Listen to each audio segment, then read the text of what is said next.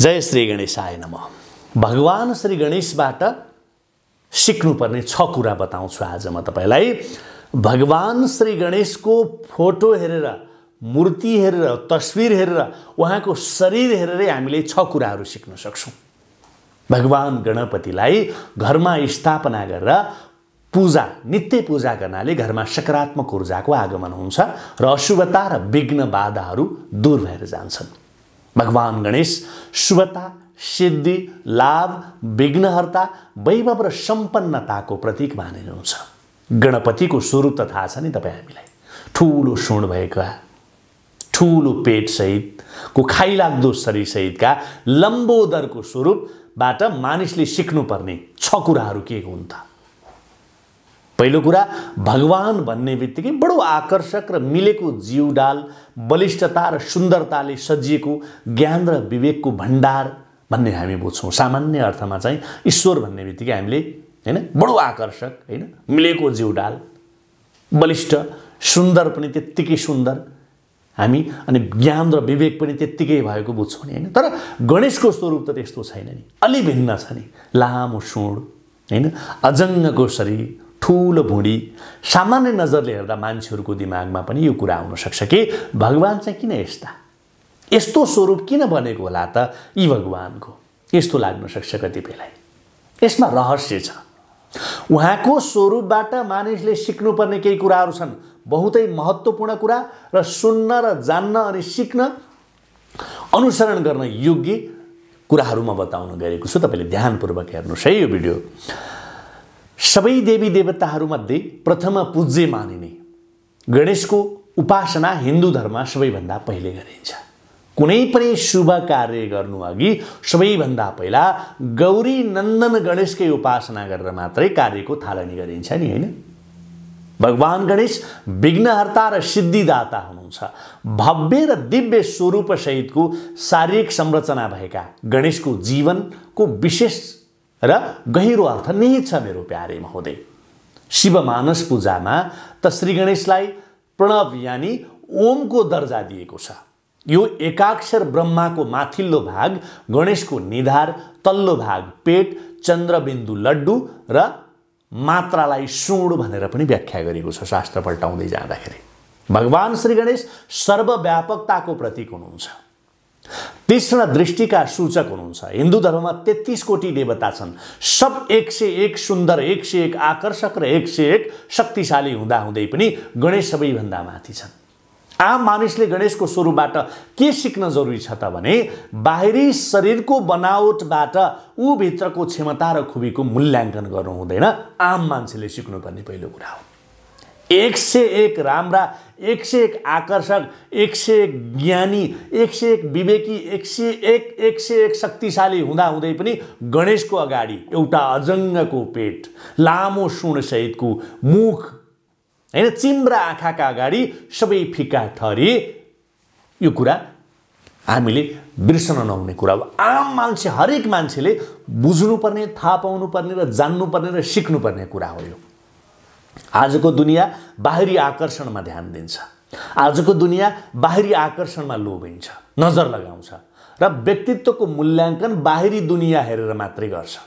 तर गणेशको स्वरूपबाट आम मान्छेले मानिसभित्र भित्री क्षमता र खुबी हुनुपर्छ। भित्री क्षमता यदि तीक्ष्ण छ भने बाहिरी कुरा कुराले कुनै अर्थ राख्दैन। भन्ने कुरा बुझ्न र सिक्न जरुरी छ। हामीभित्रको ज्ञान र क्षमतालाई अभिवृद्धि गर्नतिर लाग्न जरुरी छ कि न कि मेरो यो छैन मेरो यो भएन मेरो यो छैन मेरो नाक यस्तो छ मेरो मुख यस्तो छ मेरो पेट यस्तो छ मलाई जन्मिँदै यस्तो भएर म जन्मिएँ भन्नतिर लाग्ने होइन।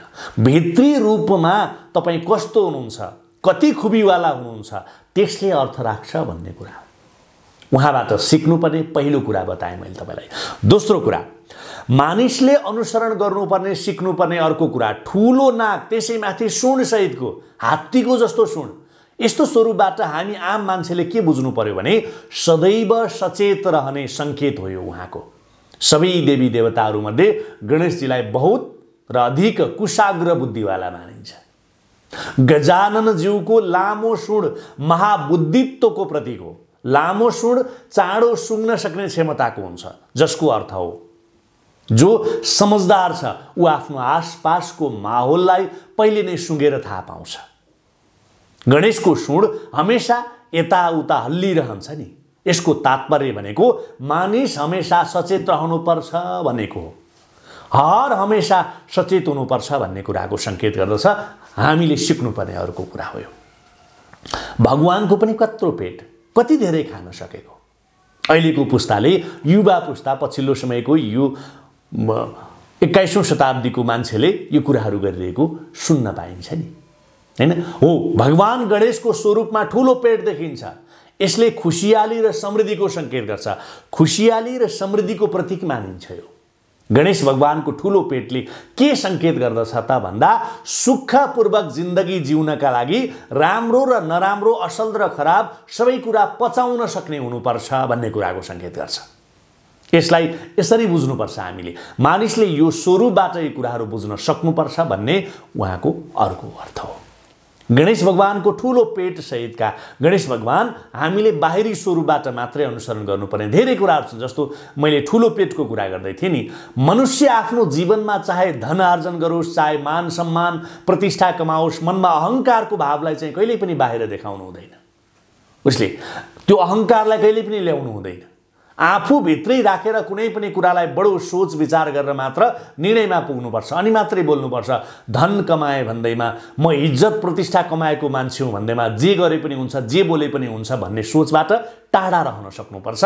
यही सोचले मात्रै मान्छे वास्तविक रूपमा सफलतामा र समृद्धिमा पुग्न सक्छ सफलता र समृद्धि प्राप्त गर्न सक्छ भन्ने कुरा आज हामीले बुझ्न जरुरी छ। भगवान् श्री गणेशको अथवा गणेश भगवान्लाई हेरेर सिक्नुपर्ने अर्को कुरा हो अर्को कुरा गणेश भगवान्का लामा लामा कान छन् नि होइन? कान पनि लामा लामा। हो? किन सामान्यभन्दा धेरै लामो कान भयो त गणेश भगवान्को? यसको अर्थ के हो? मानिसले यसबाट के सिक्ने त भन्दा कुनै पनि क्षेत्रमा ज्ञान र सफलता प्राप्त गर्नका लागि सबैभन्दा पहिला विषयवस्तुको बारेमा राम्ररी सुन्न र बुझ्न जरुरी हुन्छ। अनि मात्रै बोल्नुपर्छ। गणेश भगवान्को एउटा नाम हो गजकर्ण। गजकर्ण पनि हो उहाँको नाम।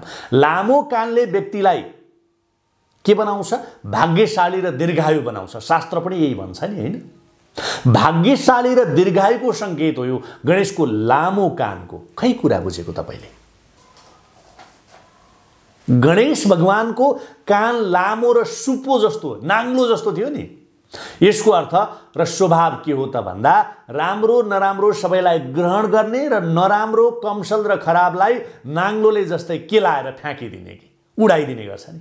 नाङ्लो अर्थात् सुप्पोले यसबाट के सन्देश मिल्छ भने मानिसले पनि राम्रो कुरा अथवा नराम्रो कुरा राम्रो कुरा सबै सुन्नुपर्छ। तर आफ्नो बुद्धि र विवेकबाट निर्णय गर्नुपर्छ।